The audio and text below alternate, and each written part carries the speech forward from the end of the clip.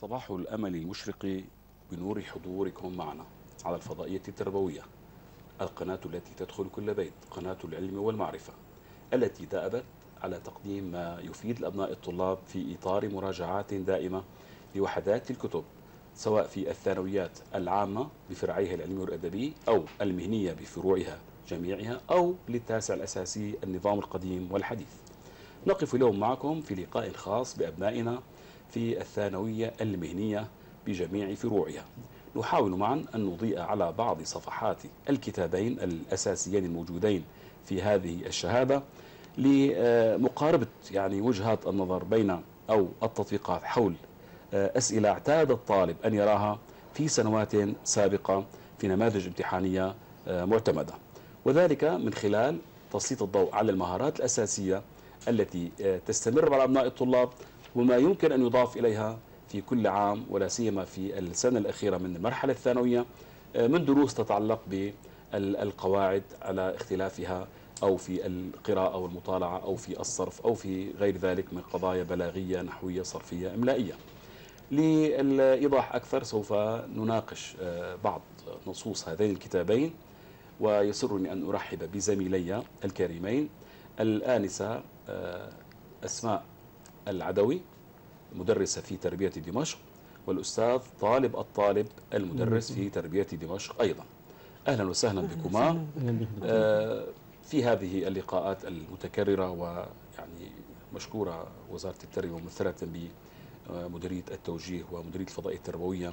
أنا دائما تلبي احتياجات أبناء الطلاب وكان هناك دائما إلحاح حول يعني دعم الندوات الخاصة بالتعليم المهني. فكانت يعني الاستجابة سريعة بتخصيص هذه الندوات. تم عرض يعني محتويات من الكتابين في ندوات سابقة. صحيح. بالأمس وقفنا على تقنية التعبير. أيضا نتيجة اتصالات من أبناء الطلاب لتخصيصها حول تسليط الضوء بشكل أكبر على موضوع موضوعات التعبير ولا سيما الوظيفية منها. اليوم نحاول كمحاولة لتطبيق مهارات أساسية على محتوى كتاب معين. يعني قد نتناول في الثانوية التجارية ما يتعلق بالقضية الفلسطينية لدينا أكثر من نص أو مع الأستاذ طالب نعود في كتاب الثانوية الصناعية إلى يعني ما يعرف الأدب القديم سواء يعني الجاهلي أو مع بدايات العصر صدر الإسلام أو العصر الأموي. يعني بالبارحة تم اختيار بشكل عشوائي تم اختيار نصوص مثلا من الأدب الحديث. لا يهم دائما النص بقدر أن نقوم بتطبيق مهارات يعتاد الطالب أن يطبقها على نص فتستمر معه لأي نص آخر. تصبح مسألة مهارية وليست حفظية مرتبطة بنص دون غيره من نصوص الكتاب. آه آنسة أسماء. تفضلي ماذا يمكن أن نبدأ؟ أسعد الله صباحك وصباح جميع الطلاب. آه سنتناول إن شاء الله في هذه الندوة آه أدب القضية الفلسطينية وهو محور هام جدا.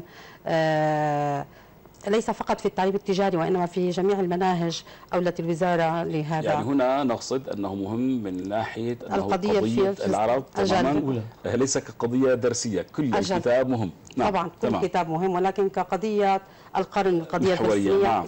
سيما أن البارحة كان ذكر النكبة في الخامس عشر من أيار عام 48 و 900 و1000 آه بالنسبة لأدب القضية الفلسطينية آه لدينا في كتاب آه الثالث الثانوي التجاري أربع قصائد لأربع شعراء. كنا قد تناولنا بالفصل الأول أو بالقسم الأول من الكتاب تقسيمات حسب العصور. من العصر الجاهلي فالأموي فالعباسي.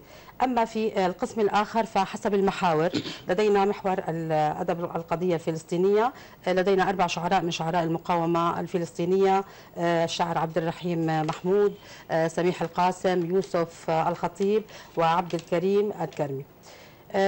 أيضا يعني بالنسبة لأدب القضية الفلسطينية أنا أعتبره أدب سهل وسلس لاننا أستطيع أن يعني أضع صفات عامة وشاملة لكل القصائد أدرسها دراسة شاملة ثم أخصص لكل قصيدة يعني أمور وصفات تتعلق بها.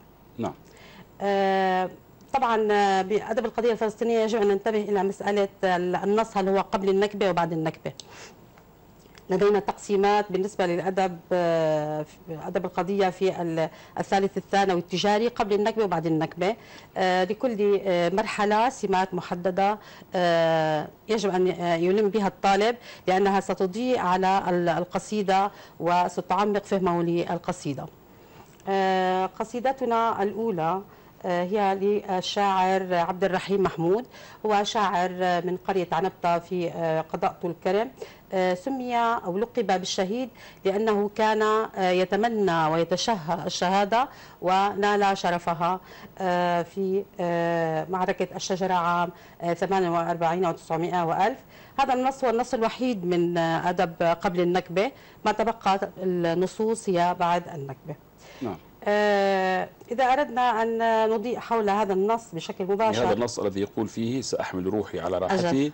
وألقي بها, بها في مهاوي الردى فإما حياة تسر. الصديق وإما, ممات. يغيظ العدا. وهذا في في الثالث ثانوي العام في درس آه، المطالعة. الدكتور نجاح العطار أدب القضايا الوطنية والقومية. تم الاستشهاد به بأنه ممن ربط الممارسة الفعلية الممارسة الثورية يعني ربط القول بالفعل كما يقال.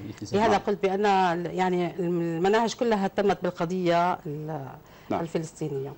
آه بدأ الشاعر عبد الرحيم محمود آه، بأنه سينذر نفسه وروحه من أجل آه، الوطن فإما أن يحيا حياة كريمة مشرفة آه، تليق بإنسانيته وإما أن يموت شهيدا هذه الميتة التي تغيظ الأعداء وتقهرهم. فأي إنسان شريف في هذه الدنيا يجب أن يكون نصب عينيه هدفان إما الشهادة أو النصر. فحيث قال سأحمل روحي على راحتي وألقي بها في مهاوي الردى فإما حياة تسر الصديقة وإما ممات يغيظ العدا ونفس الشريف لها غايتان ورود المنايا ونيل المنى. آه، بعد ذلك تحدث آه، الشاعر عبد الرحيم عن آه، أن مقتله ومصرعه هو قريب يراه قريبا ولكنه لا يخاف ولا يهاب منه وإنما يغض إليه الخطى يسرع كي ينال شرف الشهادة لأنها هي ليست مجرد هدف بالنسبة له وإنما هي الهدف الأساسي والأسمى لديه. فيقول لعمرو كأني أرى مصرعي ولكن أغض إليه الخطى أرى مقتلي دون حق السليب ودون بلادي هو المبتغى. آه بعد ذلك ينتقل الشاعر إلى آه أن ما يطربه فعلا آه ليس الأهازيج والأغاني وإنما آه، صليل السيوف في ساحات المعارك ورؤية الدماء تسيل آه، في أرضها. آه، فيقول يلذ لأذني سماع الصليل ويبهج نفسي مسيل الدماء. ينتقل الشاعر إلى صورة جمالية وهي رؤيته آه، قد استشهد. يعني يتخيل الشهادة يتمثل حلاوة الشهادة. فيرى آه، أن جسده قد سرع فوق سفوح آه، الوطن. يتخيل أن الوحوش الضارية وطيور السماء تنهش من هذا الجسد. وأقول هنا للطلبة لأن في كل سنة يقول طلبة بأنه دموي أو عنيف. ولا يعني المسألة هنا ليست مسألة دموية أو عنف وإنما هو يعني عشق للشهادة. نعم. يعني أنه لا يهاب الموت. يريد أن يركز على مسألة أن الموت آه، هو ليس مخيف وإنما هو لذيذ في سبيل الوطن كل إنسان سلب حقه سلب حقه تمام؟ بالطبع. فهو إذا هو لا يمثل هذا اعتداء على الآخر. هو لا يريد أن يرى ربما دماء الآخر وهو يريد أن تسيل دماؤه على أرض تراب الوطن. وطنه السليم. الذي حرم منه وطرد بفعل آه، آه، وحشية الصهاينة وما قام به ما جره الاستعمار الحديث من تمكين الصهاينة من خلال وعد بالفور المزعوم. أجل. الذي وصل بأنه وعد من لا يملك لمن لا يستحق. صح. تمام.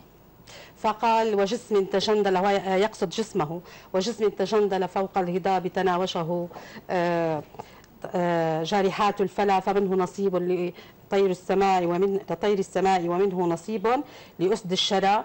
بعد ذلك يتحدث بأن دمه قد امتزج بتراب الوطن وأن مسك الشهادة وعطرها قد ضمخ نسمات الوطن. فيقول كسى دمه الأرض بالأرجوان وأثقل بالعطر ريح الصبا و في نهاية أو في ختام القصيدة آه، يتحدث عن آه، نيله الشهادة والخلود في آه، الجنان حيث الشهداء هناك لا يموتون وإنما يرزقون عند ربهم.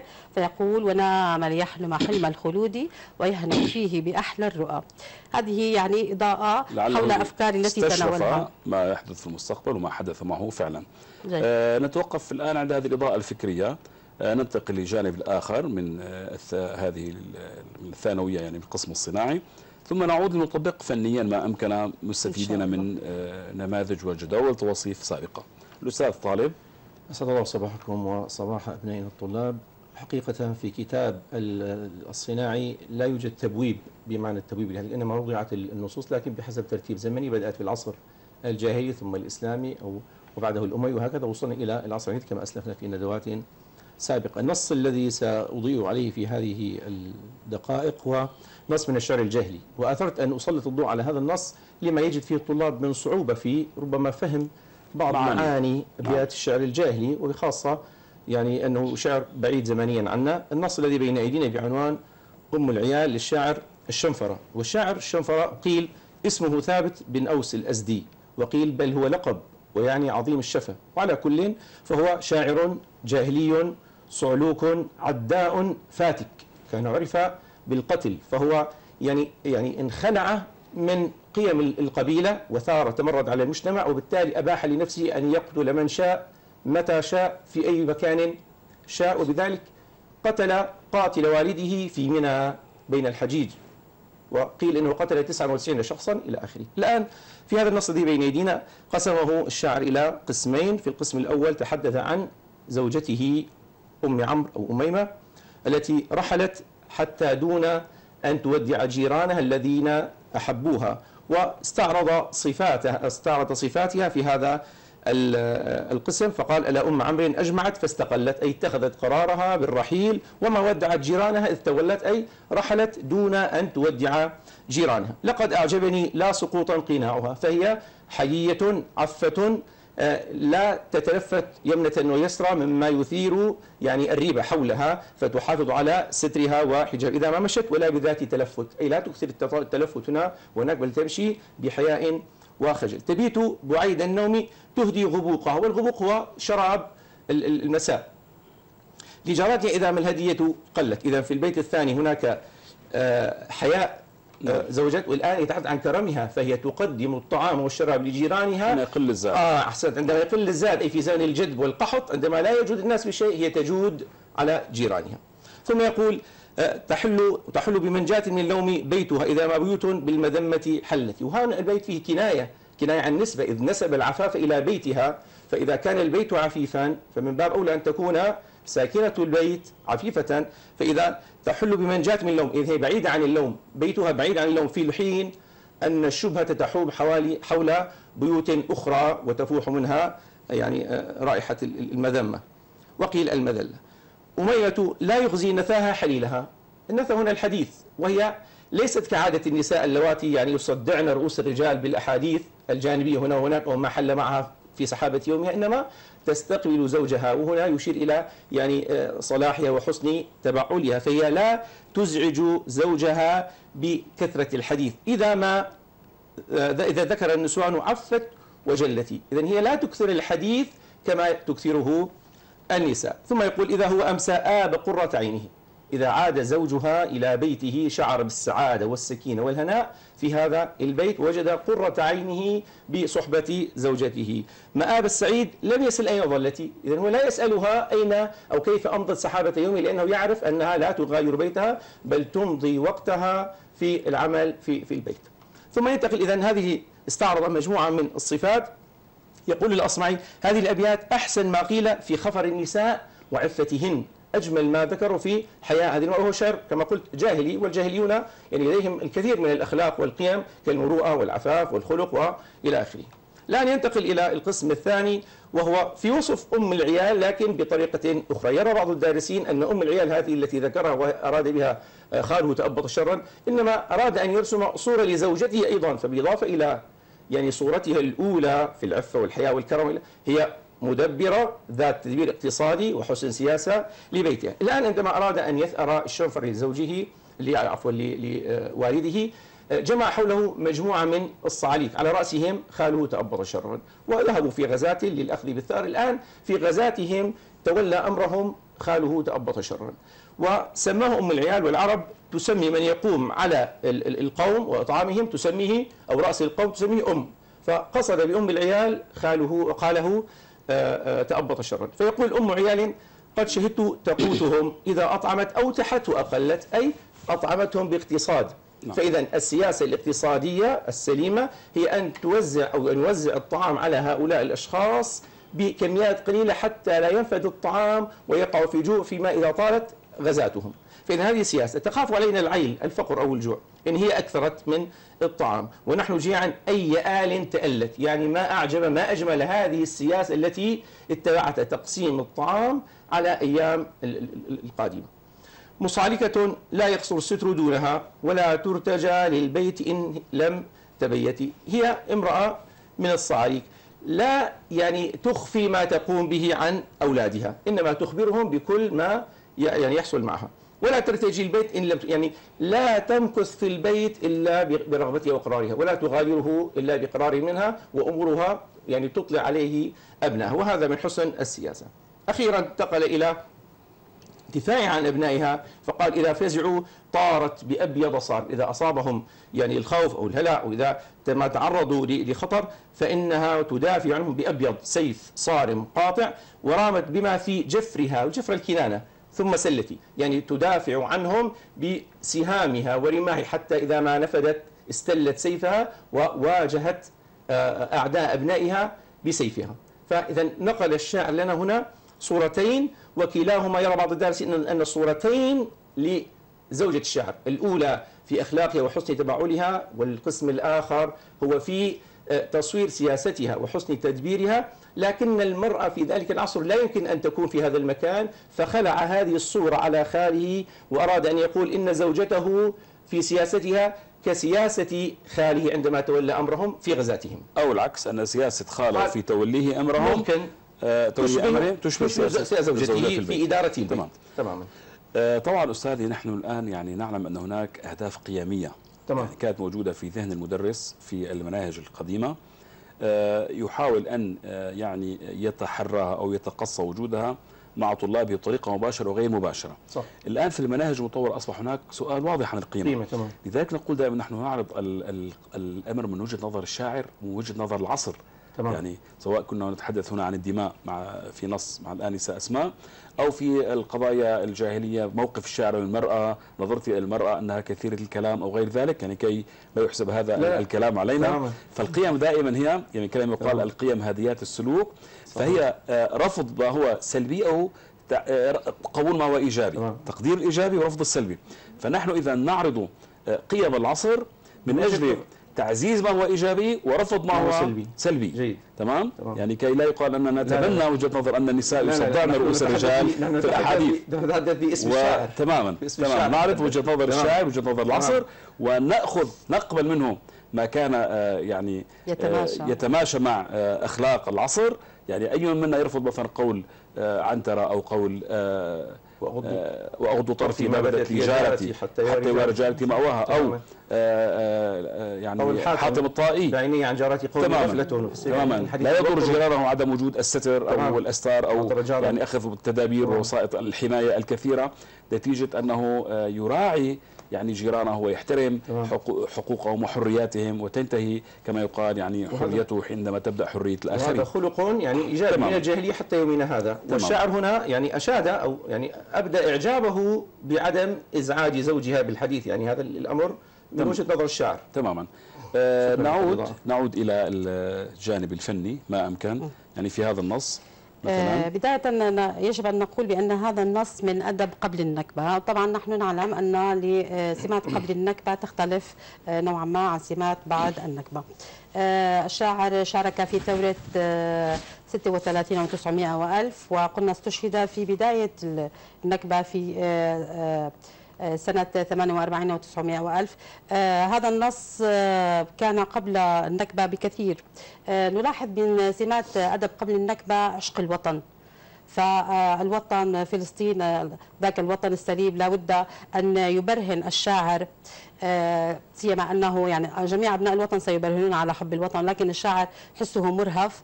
آه، فتعبيره عن حب الوطن سيكون بشكل أعمق. فنلاحظ بأن حب الوطن آه، يعني حاضر في قصيدة الشاعر الشهيد.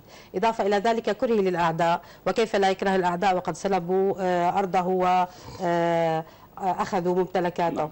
آه وتمجيد الشهادة وهذا ما نلحظه بشكل آه جلي في آه شعر عبد الرحيم محمود حيث أنه تشهى الشهادة. ليس فقط إنما مجدها وإنما عشقها عشقا حتى أنه تقمصها قبل استشهاده. لهذا كان يلقب وهو حي بالشهيد الشاعر الشهيد نعم.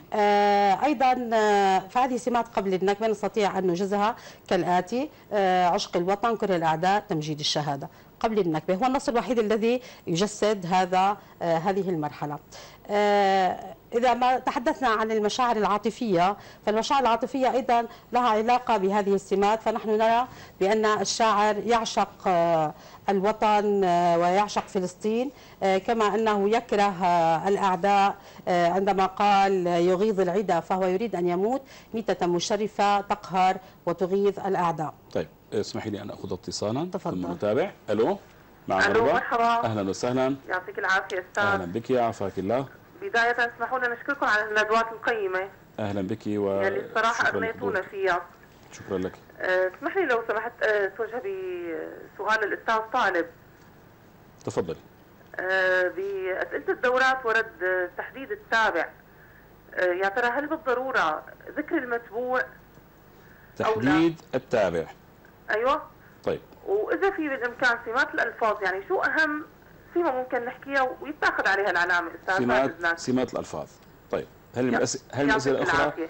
طيب يا ربا أنا أه اسمحي لي أن أجيب أنا عن القسم الأول. تفضل أستاذ. تمام؟ أه تحديد التابع. هذا أخذ من درس التوابع. تمام؟ يعني سواء الصفة أو الع... أو غير ذلك. أليس كذلك؟ نحن يعني واضع السؤال أخذ الدرس من مادة معرفية كتلة معرفية موجودة تحت مسمى معين. هذا يعود لرأي واضع السؤال. يعني قد يطلب التابع قد لا يطلب التابع. قد يقول مثلا من خلال الدورات السابقة التي رأيناها. يعني هات مثلا نعتا ومنعوتا واذكر آه، وجهين أوجه تطابق مثلا. أو هات نعتا واذكر وجهين أوجه تطابق مع منعوته. يعني لاحظ السؤال قد يتغير يأتي بأي بأكثر من صيغة لكنه ضمن محتوى معرفي معين في ذات الدرس. لذلك يعني أنا أجيبك على الأستاذ طالب آه، لا نستطيع أن نقول آه، يطلب التابع أو لا يطلب لأن ذلك مرهون بواضع السؤال بدرجة السؤال بحجم السؤال بحجم النموذج عموما. يعني هذا أمر يعود لقضايا يراها واضع السؤال تخدم ميزانا معينا في ذهنه بتوزيع الدرجات بتوزيع المهارات بتوزيع يعني الثقل والقوى التي مواطن القوى التي يراها. في هذا النموذج وفي هذا النص دون ذاك. السؤال الثاني تفضل أستاذ طالب. طلبت سمات الألفاظ نعم. حقيقة كثيرا ما يسأل الطلاب عن سمات الألفاظ وهي يعني يمكن أن نجملها في مجموعة من السمات. أبرزها ربما تختلف من يعني عصر إلى آخر. أبرزها الجزالة اللفظية ولكل سمة يعني مقابل فالجزالة يقابلها الرقة رقة الألفاظ. وهناك الألفاظ السهلة المأنوسة تقابل الألفاظ الوعرة أو الصعبة. هناك الألفاظ المعبرة عن المعنى الموحية. إذا هي مجموعة إذا المناسبة لعصر الشاعر أو المتعلقة بالبيئة الصحراوية البدوية أو المتعلقة بالموروث الإسلامي أو ما شابه ذلك. فأبرز السمات التي يمكن أن نجملها في للألفاظ الجزالة أو السهولة الجزالة أو الرقة السهولة أو الصعوبة ومن ثم التعبير عن الغرض أو مناسبة المعنى والإيحاء وغيره من هذه الصفات. نعم. نتابع أنسة أسماء. آه كنا نتحدث عن سمات الأدب وأيضا المشاعر العاطفية. قلنا هناك شعور العشق للوطن.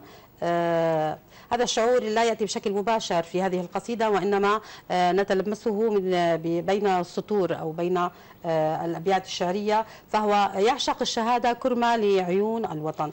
يعني ذكرنا بالأمس أن آه، في المناهج المطورة يطلب تحديد آه، الأدوات التي دلت على الشعور. تمام. آه، لأبنائنا في الثانوية المهنية قد لا يطلب ولكن يمكن أن نستعين به. يعني أجل. أنا أريد أن أبحث عن شعور عاطفي. طبعا الشعور العاطفي يتعلق في البيت الواحد غالبا يعني. العاطفة تتعلق بالنص ككل أو في المقطع. أما هناك شعور عاطفي في بيت معين فيمكن للطالب أن يستفيد من أدوات التعبير. يبحث عن اللفظة أو التركيب أو الصورة, أو الصورة الذي دل على أوحى بهذا الشعور الذي يتمكن يعني يتملك شاعر. يعني هو يعبر عن وجهة نظر الشاعر. هناك ألفاظ قد تكون آه، آه، يعني تعطي شعورا مختلفا عن الشعور الذي قصده الشاعر لكن هو لا يعبر عن شعور الشاعر. تمام. تمام؟ فإذا يمكن لأبناء الطلاب أن يستفيدوا من سياسة المناهج المطورة في البحث عن أدوات التعبير فيصلون إلى تحديد الشعور العاطفي الموجود في البيت. تمام. آه، أجل هذه يعني هذه الوسائل هي آه، غير مطلوبة بالنسبة للطالب المهني. لكن معينة وانما وانها إنما تعينه نعم. للتوصل إلى الإجابة أو الشعور الصحيح. آه، إذا ما أردنا أن نتحدث عن المعاني فإن الشاعر قد اتكأ على المعاني القدماء. علما أنه شاعر حديث. فعندما قال فإما حياة تسر الصديق وإما ممات يغيظ العدا آه، هذا البيت يذكرنا بقول المتنبي آه، عش عزيزا أو مت وأنت كريم بين طعن القنا وخفق البنود. نعم.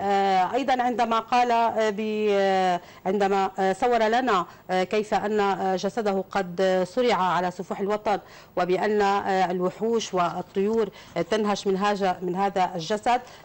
نتذكر قول أبي حمزة الخارجي في خطبته المشهورة عندما قال لقد رملت محاسن وجهه بالدماء وعفر جبينه بالثرى وأسرع إليه سباع الأرض وانحطت عليه طير السماء.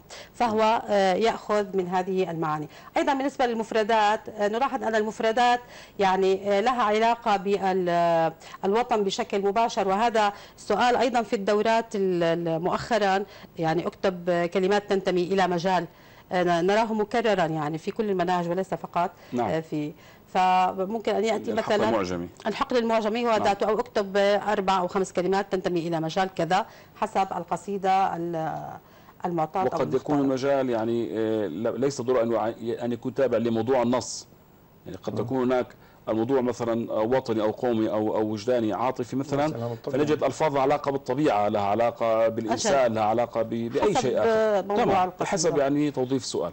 آه فايضا نلاحظ أن بعض الألفاظ جاءت موروثة.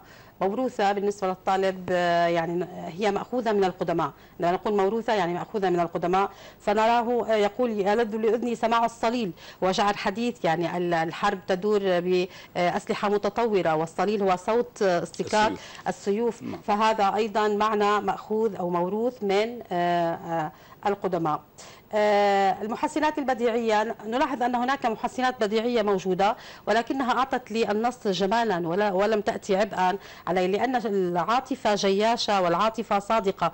فالشاعر هنا كان آه، ينطق آه، عن مشاعر حقيقية ولم يلتفت إلى الزخرفة اللفظية. فجاءت هذه المحسنات عفو الخاطر أعطت جمالا للنص. مثلا الجناس آه، نلاحظ في البيت الأول سأحمل روحي على راحتي روحي وراحتي. هنا جناس ناقص. آه، أيضا لدينا المقابلة المقابلة لطلاب آه، الثالث الثانوي التجاري. التذكير فقط بتعريفها. هي عبارة عن طباقين فأكثر. الطباق طبعا وكلمة وضدها أو كلمة ونفيها. فالطباق الإيجاب كلمة وعكسها نلاحظ أن هنا المقابلة جاءت في البيت الثاني فإما حياة تسر الصديق وإما ممات يغيظ العدا حياة ممات تسر يغيظ والصديق نعم. يعني العدا ثلاث طباقات ثلاث طباقات نعم. هذه نسميها مقابلة حياة وممات تسر يسوء صديق وعدو أيوة تسر نعم. ويغيظ أجل نعم. يغيظ. فهذه المقابلة أيضا أعطت جمالية للنص وكما أسلفت أنها جاءت عفو الخاطر ولم تأتي بشكل آه، متكلف أيضا. آه، آه، إذا أردنا أيضا أن نتحدث عن مسألة الصور والتشابيه. أيضا لدينا صور جميلة استخدمها الشاعر وسخرها في توضيح فكرته أو مشاعره نحو وطنه ونحو آه، حبه للشهادة. فعندما قال سأحمل روحي على راحتي شبه آه، الروح بشيء يحمل ويلقى. كذلك آه، عندما صور جسده بأنه يعني قد سرع وتكاثرت عليه الوحوش هنا لدينا تصوير حسي أيضا عندما قال كسى دمه الأرض بالأرجوان وأثقل بالعطر ريح الصبا آه، هنا نوه إلى أن دماء الشهداء هي عطر ومسك قد خضبت بها نسائم الوطن. آه هذا ما نستطيع أن نذكره حول آه هذه القصيدة نعم. قبل البدء بالناحية الإعرابية. آه بالعودة إلى النص الآخر في الجهة الأخرى أيضا نقف فنيا على نص الشنفرة. أبدأ بداية بالمستوى الفكري. فقد قسم الشاعر نصه إلى فكرتين أساسيتين أو رئيستين.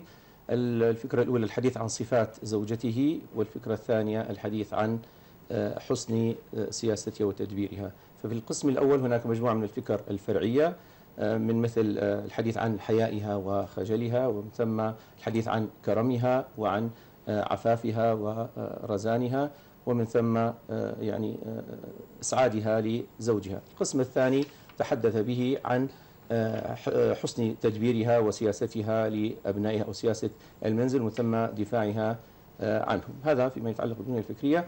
الآن لو انتقلنا إلى الأسلوب اللفظي وأبدأ بالألفاظ نجد أن السمة العامة في هذه في هذا النص للألفاظ هي الجزالة اللفظية. عندما نقول الجزالة اللفظية وتتم لما سألت به الطالبة قبل قليل فالجزالة هو الكلمات الجزالة الكلمات التي تحمل أو تتضمن حروفا صاخبة في حروف الشدة والاستعلاء والجهر بخلاف حروف الهمس كالجيم والضاد والغين وغير هذه الأحرف فنجد من هذه الكلمات كلمة أبيض. كلمة جفر كلمة جياع آه، آه، أقلت مع وجود القاف والتضعيف في اللام.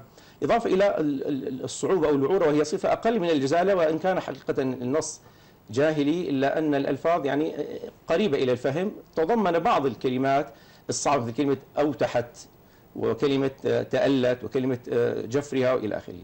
ثم أن هذه ثم أن هذه الألفاظ معبرة عن غرض الشاعر عندما أراد أن يصف زوجته بالعفاف تحدث عن قناعها وكان عفت وتقوتهم في القسم الثاني وأطعمتهم فجاءت الألفاظ مناسبة لغرض الشاعر وما أراده. التراكيب متينة السبك مترابطة ومثل أجمعت استقلت. غلب على الجمل الأسلوب الخبري لأن الشاعر ينقل تجربته في غزاته. لقد أعجبتني وتبيت تحل معظم النص يعني غلب عليه الطابع الخبري ومالت الجمل إلى الطول نوعا ما. الآن لو انتقلنا إلى المشاعر العاطفية نجد أن آه، هناك آه، شعوران تقريبا سيطرا على جو النص وهما حب الزوجة والإعجاب بها في القسم الأول وحب إن أردنا أن الوصف في خالي حب خالي والإعجاب بسياسته. فحب الزوجة جاء في الأبيات في القسم الأول بخاصة البيت الثاني وحتى البيت السادس وحب آه، خالي والإعجاب به وبإدارته في القسم الثاني. لو أردنا أن نأخذ بعض التطبيقات النحوية هناك مما يتعلق في آه، كتاب الثالث الثانوي المهني. هناك بحث التوابع الذي سئل عنه. نجد بعض التوابع في هذا النص. وفي البيت العاشر مثلا نجد صفة أبيض صارم فصارم صفة المنعوت أبيض وصارم آه، نعت. نجد حرف العطف كذلك في البيت العاشر كلمة حرف عطف ثم وهو يفيد التراخي في الزمن مع الترتيب والتعقيب في آه، كذلك من تطبيقات جذب المضارع ونصبه. نجد مضارعا مجزوما في البيت السادس لم يسل فهو مضارع مجزوم على جزمه السكون. نجد بعض الصفات الممنوعة من الصرف كلمة أبيض فهي صفة على وزن أفعل ممنوعة من آه، الصرف. هذه بعض التطبيقات القواعدية. إذا ما انتقلنا إلى شيء من المشتقات نجد أن المشتقات يعني موزعة في النص فنجد في البيت التاسع كلمة مصالكة وهي اسم فاعل. كما نجد أبيض صفة مشبهة ونجد آه، كلمة صارم اسم فاعل كذلك ومآب اسم مكان. في الصور البيانية نجد أن الشاعر قد أقل من استخدام الصور البيانية لأنه كان يعني يهتم بموضوع الأساسي وهو المدء الفخر أو الفتك أو غير ذلك فما أعار أهمية للصور إلا بعض الكنايات التي أكثر منها في هذا النص ربما يعود لحياته التي ربما يشوه شيء من آه، الغموض فأراد أن يتخفى وراء الكناية كما في البيت الثاني وفي البيت الثالث عفوا وكذلك في البيت الخامس وغيرها من الكنايات التي آه، تحدث عنها آه، الشاعر. هذا يعني باختصار بعض الجوانب التي يمكن أن نضيئها في هذا النص. طبعا يعني طبيعي أن يكون مسلك الشاعر بهذه الطريقة وهو شاعر صعلوك والصعلكة يعني هي ظاهرة اجتماعية عرفت في العصر الجاهلي التمرد على قيم القبيلة بسبب يعني أو دون سبب يعني أحيانا القبيلة من تقوم بخلع يعني أحد أفراد القبيلة وأحيانا يقوم الفتى هو بالتنكر لقيام قبيلته. والشنفرة معروف أنه كان يعيش بين أخواله وأنه كان يتعامل معهم على أنهم يعني على أنه فرد من هذه القبيلة. فعندما يفاجأ بنظرتهم إليه بأنه عبد أو مجرد يعني إنسان دخيل على القبيلة عليهم. هنا تثور في داخله نوازع يعني العصبية القبلية والاعتداد بالذات وغير ذلك. صحيح. فيتصالك آه، معتبرا أن وحوش البرية هم خير من هؤلاء الأهل. ولدونكم أهلون. سيدا سيد عملس إلى آخره. قل في لاميتي أقيم بني أمي صور مطيكم فإني إلى قوم سواكم لا اميل تماما. آه، بالانتقال إلى نص آخر آنسة أسماء. تنتقل أم نعرب آه النص؟ لا بأس لا بأس نتابع النص. يعني نحن هنا كما نقول لا نعنى في في هوية النص وإنما بتطبيقاته التي تنسحب على أكثر من نص. لأن نعم. الهدف نعم. هو يعني يعني الجانب الفكري فقط. يختلف من نص لآخر جانب الفكري فقط. تماما. نعم. آه، إذا ما أردنا تحديد بعض المشتقات الموجودة في النص فنرى اسم فاعل آه، جارحات آه، أيضا لدينا صفة مشبهة شريف صديق عدو. أيضا لدينا اسم مكان مصرع وأيضا ممات مثيل. لدينا جامد ذات وجامد معنى. جامد ذات راحة أرض دم. عطر ريح. أما جامد المعنى فلدينا آه، الخلود نيل المنى. وأعتقد أن الطالب يعني يستطيع أن يميز بين جامد ذات وجامد معنى. جامد الذات ما يدرك بإحدى الحواس الخمس وجامد المعنى يدرك بالعقل. آه، بالنسبة للأعراب آه، سأنتقي بعض الكلمات كي يتسنى لنا الحديث عن نص آخر. آه، بعض الكلمات التي أظنها يعني أن الطالب يجد فيها يعني آه، ترتبط بتطبيقات الكتاب. آه بالنسبة للكتاب التجاري آه يعني أو الثالث الثانوي التجاري آه لا يوجد لدينا قواعد مباشرة وإنما تطبيقات تمام. تشمل كل ما درس سابقا. ما درس سابقا ونحن نعلم أن يعني المهارة الاعرابيه أو النحوية هي مهارة تراكمية. آه، ولكن هناك بعض يعني الكلمات التي آه، أعتقد أنها ممكن أن تسبب يعني صعوبة أو إشكال بالنسبة للطالب. آه، لدينا ونفس الشريف لها غايتان ورود المنايا ونيل المنى. كلمة ورود إعرابها بدل بعض من كل. أيضا لدينا ونام ليحلم حلم الخلود ليحلم آه، لام لام التعليل يحلم آه، فعل مضارع آه، منصوب بأن المضمرة بعد لام التعليل. ونحن نعلم أن كإعراب جمال في هذه الحالة إعرابها صلة الموصول الحرفي لا محل لها من الإعراب. أيضا لدينا ويهنأ فيه بأحلى الرؤى. أحلى هي يفترض أن تكون ممنوعة من الصرف ولكن بما أنها أضيفت فزالت عنها المنع. فلا نقول بأنها ممنوعة من الصرف. حتى الشاعر من الضرائر الشعرية الخمسة عشرة يجوز للشاعر يصرف. يجوز للشاعر ما لا يجوز لغيره من ضمن الضرائر الشعرية نعم. أجل. آه هذه بعض آه أيضا لدينا دون دون مفعول فيه ظرف آه مكان منصوب على نصبه الفتحة الظاهرة. آه يلذ لأذني سماع سماع يعني آه هي فاعل ولكن بما أنها يعني آه أخرت قليلا عن الفعل أيضا ممكن أن يعني يقف عندها الطالب. فسماع ومثيل آه، فاعل مرفوع على رفعه الضمة الظاهرة على آخره. آه، بالنسبة لإعراب الجمل طبعا الجملة الأولى التي في أي يعني نص غالبا هي ابتدائية لا محل لها من الإعراب. سأحمل هي ابتدائية. أيضا لدينا جسم تجندل. تجندل طبعا بإعراب الجمل القاعدة الأساسية هي أن نربط الجملة بما قبلها قبلها. فنرى مثلا هنا سبقت بنكرة وهذه النكرة ليست مبتدا وليست أيضا اسم إن أو اسم كان فتجندل في محل جر صفة. تماما. آه، أستاذ طالب نعود إلى نص. من عصر آخر إن أمكن. يعني نخرج قليلا من العصر الجاهلي. يعني في الوقت المتبقي لا أظن بقي معنا كثير من الوقت ولكن بما يسمح به الوقت.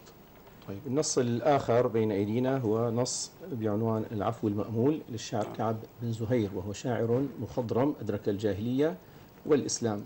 كعب بن زهير هذا هو أصلا ابن الشاعر زهير, زهير بن سلمان. المعروف آه، كان قد تعرض للنبي صلى الله عليه وسلم والمسلمين فهجاهم وتوعده النبي صلى الله عليه وسلم ثم وصله وصل ذلك لمسامعه فخاف إلا أن إسلام أخيه بجير يعني قربه كثيرا من الإسلام وذكر عند النبي صلى الله عليه وسلم فدعاه فجاء إلى النبي صلى الله عليه وسلم معتذرا ويعني طالبا العفو فمدح النبي صلى الله عليه وسلم ودح الصحابة الكرام رضي الله عنهم وأعلن إسلامه.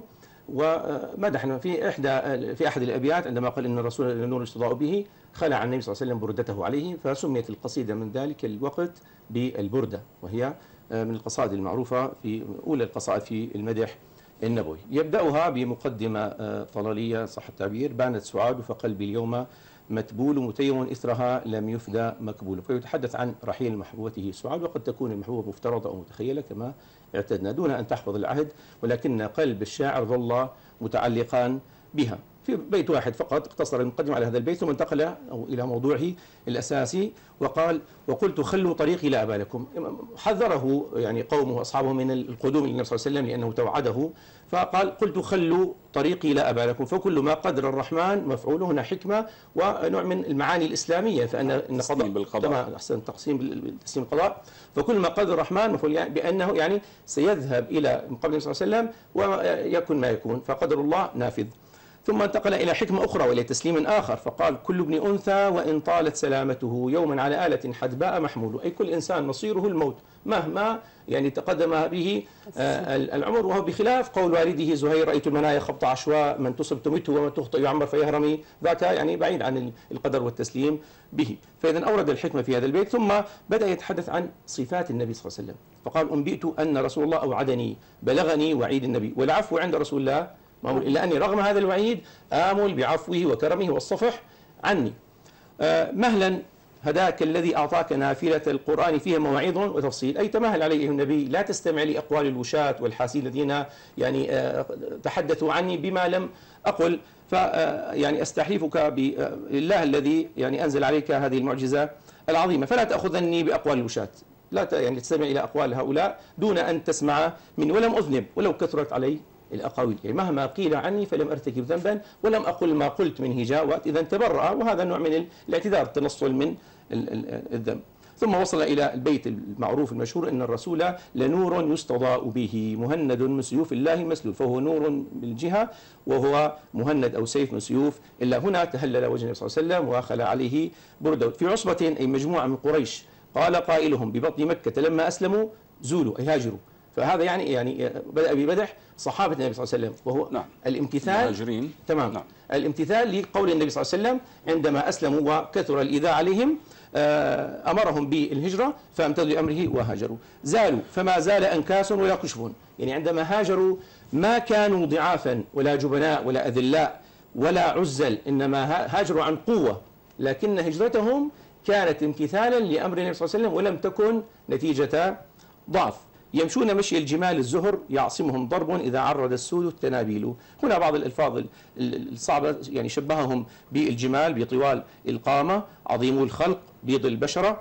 يعني يمشون بوقار يحميهم من الطعن والضرب. وقيل قال بعض الدارس إن هذا البيت تعريض بالأنصار. فقد قال المهاجرون لم يمدحنا من لم يمدح الأنصار لأنه عرض بالأنصار ووصفهم بعظم الخلقة فانتقل في أبيات تالية ليصف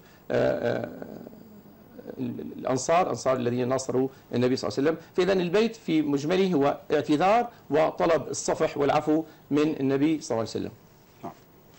آه بالانتقاء نص آخر أيضا بما يسمح به الوقت. آه ننتقل إلى نص فلسطين الحبيبة للشاعر عبد الكريم الكرمي آه هذا النص يجسد مرحلة بعد النكبة حيث أن هناك سمات محددة لمرحلة بعد النكبة. أصبح الفلسطيني مهجر وخارج فلسطين. فنظهر أو يظهر لدينا تصوير آلام التشرد والعذاب في النصوص التي تنتمي إلى مرحلة بعد النكبة. إضافة إلى حتمية العودة. الشاعر لم يكن فقط متأملا بالعودة وإنما هو يعني يشعر بأن مؤمن بالعودة ويشعر بأنها حتمية لابد من تحقيقها. إضافة إلى أن الكفاح المسلح هو السبيل الوحيد للعودة فما أخذ بالقوة لا يسترد إلا بالقوة. يبدأ نصه بمخاطبة فلسطين فيقول لها فلسطين الحبيبة كيف أغفو وفي عيني أطياف العذاب. يستحيل أن أنام قرير العين هانئا وأنا مبعد عنك يا محبوبتي فلسطين. وأيضا نكرر ذات المعنى في البيت الثاني عندما يقول فلسطين الحبيبة كيف أحيا بعيدا عن سهولك والهضاب فاستحالة العيش وهو مشرد بعيد عن الأراضي الفلسطينية. يعبر الشاعر عن شوقه لفلسطين بأسلوب جدا جميل حيث يضفي على المكان إنسانية فيجعل المكان يشتاق إليه. عندما يقول تنادين السفوح مخضبات وفي الآفاق آثار الخضاب فها هي جبال فلسطين تناديه كي يعود إليها وهي ما عليه ما عليها من آثار العذابات والقهر الصهيوني. أيضا عندما يقول تناديني الجداول شاردات تسير غريبة دون اغتراب. كأن الجداول أنهار فلسطين تنادي كي يعود إليها وهذا يعني يوضح لنا شدة الشوق عندما آه، نضفي على المكان آه، إنسانية بأنه هو الذي يشتاق إلينا. هذا آه، يعني يوصل لنا شدة الشوق لبلده فلسطين. هذه الأنهار أيضا هنا اعتمد الشاعر التشخيص عندما قال تسير غريبة دون اغتراب. الجداول في فلسطين ما زالت في مكانها ولكنها تشعر بالغربة لفراق الأهل والأحبة عنها. يتحدث بعد ذلك الشاعر عبد الكريم الكرمي عن حتمية العودة عندما يقول ويسأل الرفاق ألا لقاء وهل من عودة بعد الغياب بأن فلسطين ستعود حتما عندما يقول غدا ستعود سنعود والأجيال تصغي إلى وقع الخطى عند الإياب. هذا البيت يجسد حتمية العودة بشكل كبير جدا. فسنعود وليس فقط ذلك وإنما الأجيال سيستمعون إلى وقع خطواتنا عند عودتنا إلى فلسطين. العودة المظفرة. يعني هذا الله. الكتاب موجود هذا الموجود هذا البيت في القراءة التمهيدية في الثالث الثانوي العام آه، وهو يعني يتناغم مع آه، نص جسر محمود درويش إلا أن النص محمود درويش أوضح صعوبة العودة. زحف مشى على الأقدام أو زحفا على الأيدي نعود. نعود. أجل. قالوا وكان الصخر يضمر والمساء إذا تقود. نعم. أجل. آه بعد ذلك يتحدث عن طريق العودة. كيف سنعود إلى فلسطين؟ وكما أسلفت بأن الكفاح المسلح هو السبيل الوحيد للعودة فيقول نعود مع العواصف داويات مع البرق المقدس والشهاب وكلها إشارات وكنايات إلى الثورة. وأيضا يقول مع الرايات دانية الحواشي على وجه الأسنة والحراب سنعود وشاهرين أسلحتنا في وجه العدو. آه، هنا أيضا يتكئ على ألفاظ القدماء عندما يقول أسنة آه، وحراب يعني رماح وسيوف.